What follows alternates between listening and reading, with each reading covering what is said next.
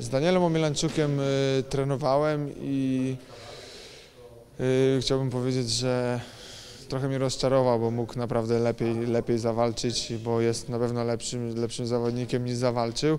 Troszeczkę tam popełnił błędów, no ale jednak wygrał tą walkę.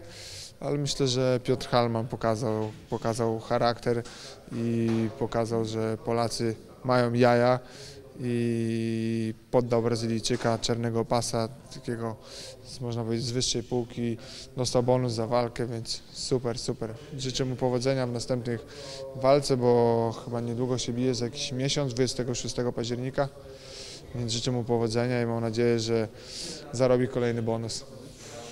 Że jakiś okres w ogóle nie, nie brali Polaków żadnego, a nagle w ciągu miesiąca wzięło, wzięli dwóch Polaków, następnie wzięli mnie, ja jestem trzecim Polakiem, więc myślę, że w następnym roku gala UFC nareszcie się odbędzie w Polsce.